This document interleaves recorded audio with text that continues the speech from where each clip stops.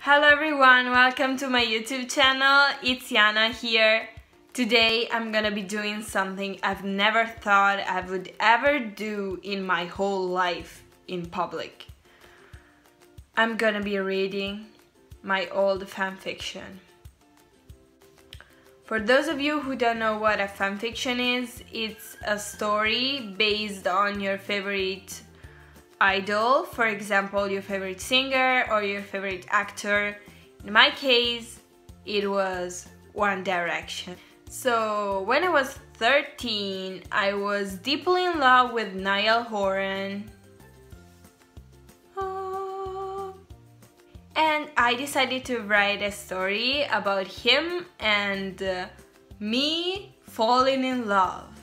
Yeah, guys, that's one of the cringiest things ever in the world and I'm reading it in public and I've been asked to do this so many times but I've never found the guts to do this but now I'm finally doing it. I don't think it's very fair to read this fanfiction without the right atmosphere so let's change something. Wow, that's perfect! Yeah guys, I used to wear this, but I don't know, something's missing. Mm. That's better. now we can finally start reading my fanfiction. The title of this story is A Dream Called One Direction. Chapter number one. Hello, I'm Jana and I've always been a directioner since I was 13 years old because of course when I'm telling this story I'm 20 so I had dreams. I wanted to learn English so good that I could move to England and finally meet them. One in particular stole my heart. Niall Horan. And then in case you are wondering how I look like and that's how I look like. And in case you didn't notice, uh, I'm thinking about One Direction, Niall and English.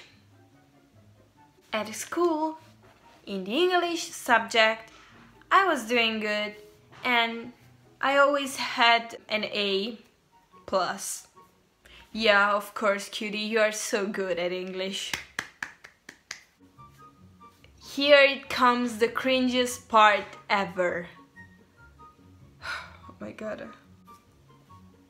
Every day my love for Niall grew inside of me and I couldn't wait to meet him. Year after year, I and I finished high school. Finally! I can't wait to finish high school. One Direction weren't so famous and they still had a few fans but not so many. So this story apparently was when, I was 19, 20, um, at the end of uh, the fifth year of high school in summer. So basically I decided to move to London and uh, I, I took an apartment for myself and I start this very long description of my apartment uh, which I'm not gonna read you because and I don't even know why I wrote so much about this one. Like no one cares. In case you wanna know where I lived here's a picture. This is how my apartment apparently looked like. Yep there's a picture of everything in this amazing book I don't know why it hasn't been published yet. The first day I'm there, I go to work and then in the afternoon, I was walking in the streets of London when a guy crashes against me. I don't even know if this is correct English, but this guy crashes against me because he was running and he suddenly stops and he asks me if I was okay if he hurted me, but suddenly I hear some cameras flashing and I see some paparazzi. He he holds my wrist and he starts running as fast as possible and I start running with him and we finally reach a park. We sit on a bench and he goes like, Hi, I'm Niall. Nice to meet you. I'm a singer in the One Direction group. Who are you? I was about to faint. But after being sure that he was for real who he said he was, I answer him. My name is Jana. I, i am a big fan of yours since a lot and and it's very nice to meet you. After talking about us, like he talks about his life, I talk about my life and love grows as a flower.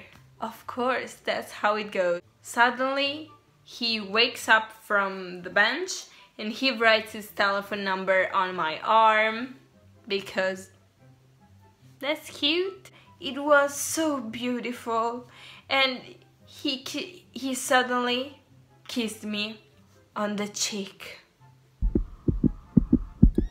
This is how chapter 1 ends and I think that's enough to make you realize how cringy this thing was. Thank you so much for watching this week's video. Tell me in the comments down below if you had fun watching this video.